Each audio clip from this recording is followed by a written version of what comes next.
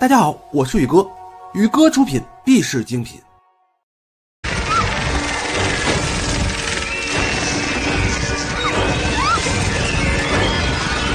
大家好，我是宇哥，今天为大家介绍一部灾难片《蝗虫过境》。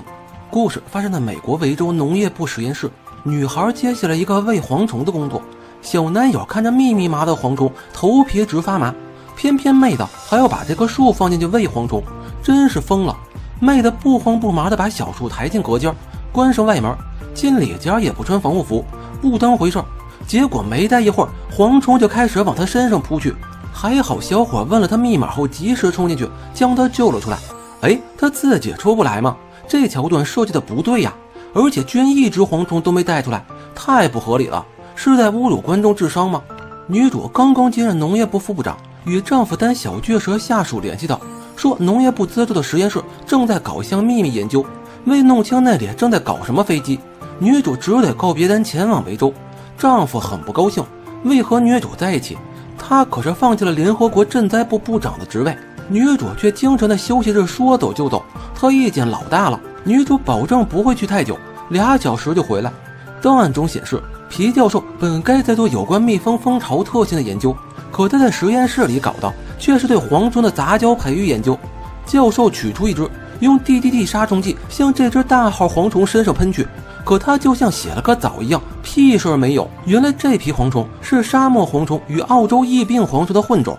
这些蝗虫的孕期是普通蝗虫的四分之一，繁殖率是正常的十倍，寿命长达两年，是一般蝗虫的三倍，速度奇快，一天能飞三百英里。女主又气又恼。去年两个大陆在闹蝗灾。非洲五分之一耕地被蝗虫扫平，现在已入侵到欧洲，你还搞基因改造？教授辩称这是遗传工程，是能应用在人类疾病上的科学。但女主已看出他们很危险，要教授终止研究，毁掉这群害人精。改造自然，最后自然会反扑的，你无法承担蝗虫扩散到外面的代价。在女主的命令下，工作人员走进实验室，用火焰喷射器消灭了这些恐怖的玩意儿。教授也被女主革了职，殊不知有个工作人员偷偷带出了六只蝗虫，却在脱衣时不小心将其中两只弄进了下水管。这两只蝗虫顺着水沟飞进了城市。工作人员带着剩下的四只来到空军基地，交给一名士兵，士兵却不小心将箱子里的蝗虫掉到了地上。就这样，又有四只蝗虫流入了城市。回家后，但不满女主经常加班出差，主动提出暂时分开，搬离了这里。一个月后，女主发现自己怀孕了，她想给丹个惊喜，打去电话试探着问丹想不想要个孩子，丹却又把话题转移到了女主爱工作胜过家庭这上边。女主最后还是没机会道出自己怀孕之事，只得先将喜讯分享给父亲。此时，一对小情侣正在加州一个小树林中度假，却不知地底有群蝗虫正在蠢蠢欲动。片刻后，成群基因改造蝗虫袭击了他们的帐篷。再然后，铺天盖地的蝗虫又袭击了加州的一个果园，人们吓坏了。被开除的教授将可爱女儿送上校车，而后驾车前往健身房去运动。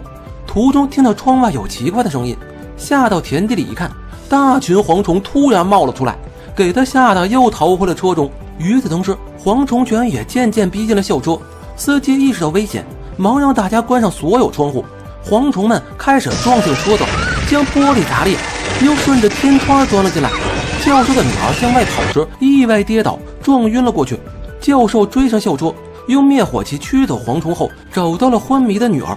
又司机拨打九幺幺，看到是自己培育的蝗虫，教授懵了。果园在蝗虫的肆虐下已片甲不剩。恰巧女主与助手也在加州，对此展开了调查，却不知道这群害虫就是教授造出来的改造战士。对抗蝗虫的标准程序。通常是用飞机喷洒杀虫剂，但这对牲畜也有害。用火也可奏效，但同样有风险。蝗虫偏好湿气。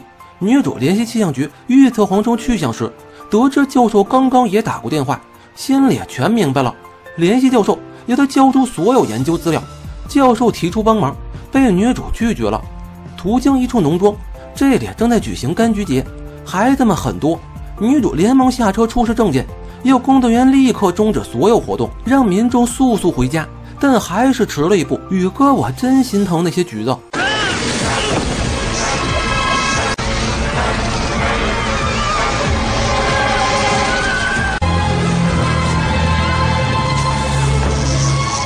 滨州匹兹堡一栋商厦中，某公司正在为一位女职员举行生日派对。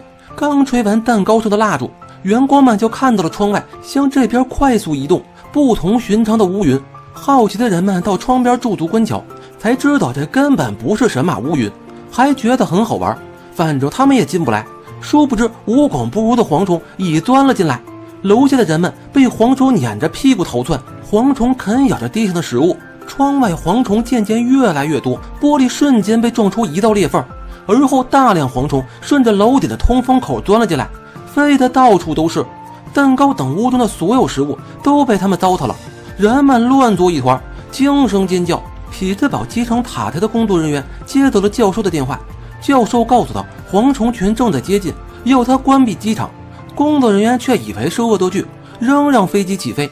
结果，大批蝗虫涌进了飞机引擎，两具引擎相继报废，飞机俯冲而下。轰然坠毁，工作人员看傻了眼。女主责怪教授搞了这么大的灾难出来，可没说两句，教授就被联调局请走了。他的女儿仍在昏迷之中。国土安全局会议室，各部门官员齐聚一堂，试图研究出解决这个大麻烦的方法。教授这边也在接受调查。这种蝗虫从孵化到成虫仅需八天，每天要消耗体重两倍的食物，目前已有数亿只，并以倍数增加。对粮食作物影响巨大，它们偏好潮湿环境，以便产卵繁殖，一天就能吃掉数千平方里农作物。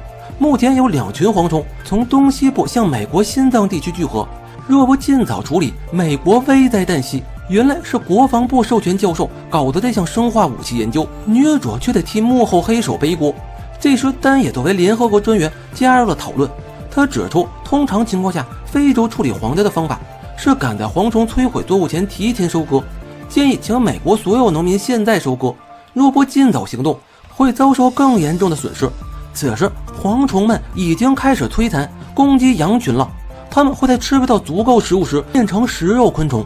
宇哥，我隔着屏幕都瘆得慌。军方打算用 VX 的毒气来消灭蝗群，实验证明这种毒气的确对变种蝗虫有效。女主得知将军的计划后，强烈反对。VX 可是化学武器，几分钟就能让人抽搐、呼吸麻痹后死亡。即使在高空分洒，也会对人产生副作用，预计会害死数百万人。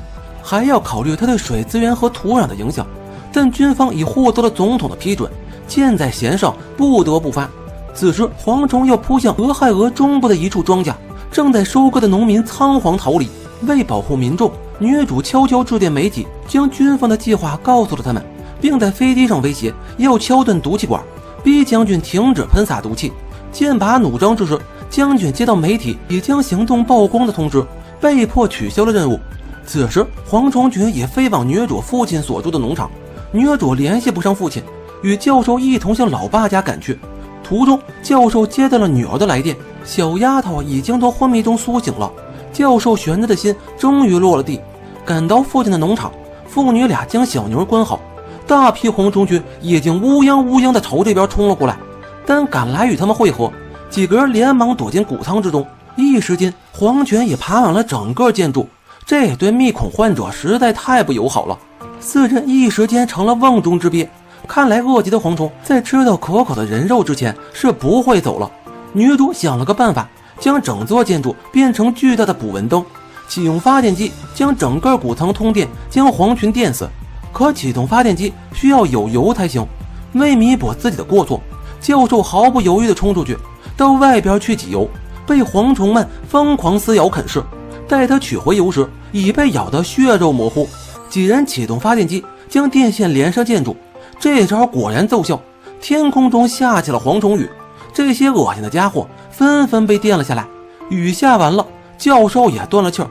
门外堆满了四肢乱颤的蝗虫尸体。如今，西岸饥饿的蝗群已经通过了落基山，东岸的蝗群再有二十四小时也会通过密西西比河到达美国心脏地带世界的谷仓。总统正式宣布，明日正午将会对蝗群使用 VX 的神经毒气，准备对民众们进行撤离。女主冲了进来，告诉将军还有别的解决方法，用电力消灭蝗群。代替绝对会造成伤亡的毒气。能源部部长赞同女主方法。洛基山脉与密西西比河两处均设有高压输电线路网，增加这些线路网的电流会造成强大的电流场。任何经过的物体都会遭受强烈电击而亡。当然，这需要全国通力合作，企业、住家、政府只要在那一刻停止用电，就能奉献一份爱。官员们最终同意了这个方法，若不成功，再执行 B 计划，投掷毒气。至于如何让蝗虫经过电线，它们会受到反射闪光的吸引，这个气象气球能做到。行动的前一刻，家家户户都停止了用电，巨大的气球升空了，排成一排，甚是好看。男女主来到电线下，刚想亲一个，黄群就来了，一时间火光四溅，黄群如飞蛾扑火般扑到电网上，被电得外焦里嫩。行动大获成功，男女主在这美丽的景色下终于亲了嘴。新闻中播报着，由于基因改造，仅存的蝗虫不具有繁殖能力，蝗灾也彻底解决。一年后，男女主有了宝宝。电话铃响，又有新的灾害出现了。最近，非洲、巴基斯坦等国正在闹蝗灾，很多网友都很关注这个事件。我也想找个相关题材的科普电影来帮大家普及一下相关知识。但找来找去，似乎只有这一部灾难片是讲蝗虫的。说实话，本片的确有点虎头蛇尾。抛开开头女孩被蝗虫咬那段不合逻辑的剧情与五毛都没有的特效不提，宇哥就想问问：开头明明说了这种蝗虫的繁殖力超强，并在一个月内由六只繁殖到了上亿只，咋结尾处又说这些漏网的蝗虫不具有繁殖能力了呢？这明显自相矛盾呐！是编剧把开头的设定忘了吗？完全解释不通，前面制造了一个大悬念，让人们对如何解决蝗灾充满期待，最后却是这种解决方法。害虫之父教授也没派上任何用场，确实令人有些失望。但本片也不是毫无可取之处，片中对蝗虫经过大场面的描述，与对观众心理上造成的紧张感还算可以接受，大家就把它当做一部娱乐片来看吧。至于如何解决蝗灾，对此，宇哥也没什么话语权，这次就不班门弄斧乱做评论了。二零二零年刚开头，全球就被一片阴影笼罩，各种灾难不断。只希望这一切不好的事情都赶紧过去吧。宇哥很怀念不戴口罩出门，能看到路人的脸，没早去球馆打球，和朋友撸串喝酒的生活。好了，今天的故事讲完了，最后别忘了点击订阅钮，并在微信里搜索我的公众号“宇哥讲电影”这五个字。公众号里有更多精彩内容哟！喜欢宇哥的视频，请订阅关注，获取第一时间更新。对了，还有别忘记转发哟！